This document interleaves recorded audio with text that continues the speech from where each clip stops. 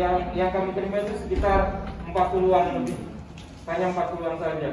Itu sampai mantengin handphone itu kayak nolak peserta itu tekanan batin. Motifnya keluar Iya, motifnya keluar terus. Dan handphone saya cukup sempat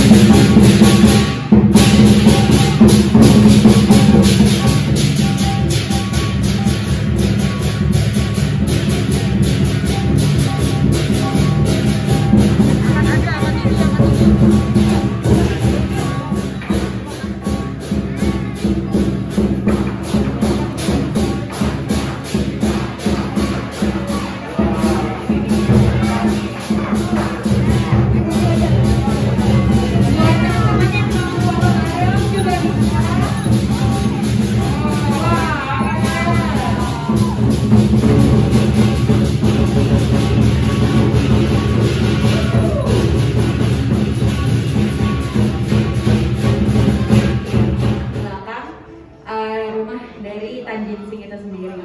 Nah, uh, siapa sih Tanjinsing ini? Tanjinsing itu ada Tanjinsing ini adalah uh, seorang kapitan Cina yang uh, seorang pria juga yang uh, tinggal di Jawa.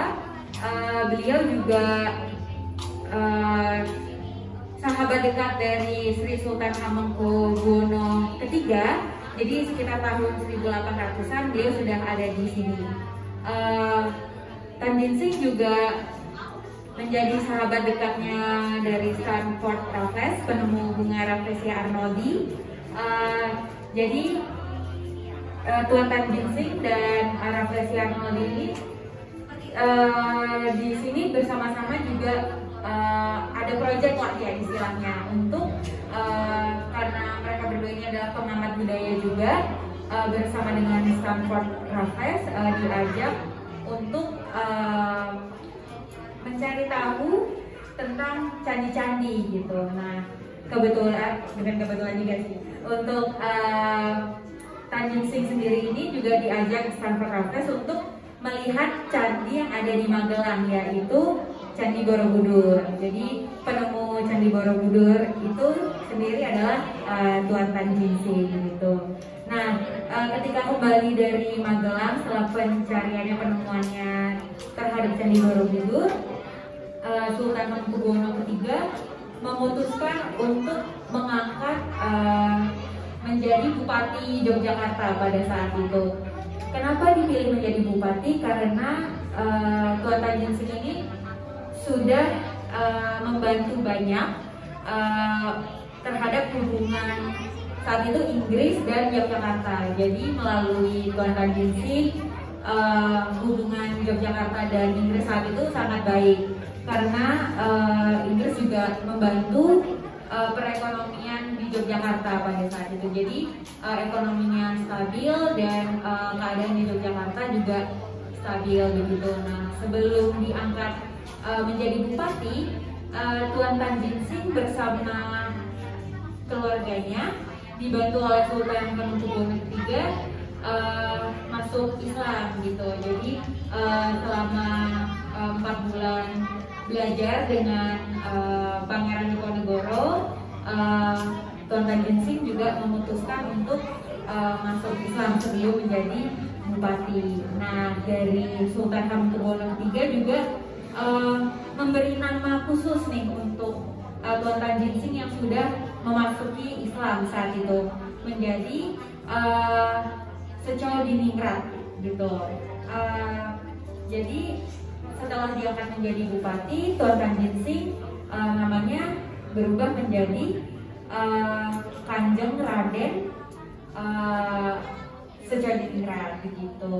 Nah, uh, setelah menjadi bupati pun uh, Tuan Tan Jinsing juga sangat membantu uh, membantu keadaan di Yogyakarta. Jadi nggak cuma sebelum menjadi bupati, tapi setelah menjadi bupati, uh, Tuan Tan uh, mengabdikan dirinya untuk Yogyakarta bersama Sri Sultan Hamengkubuwono III begitu.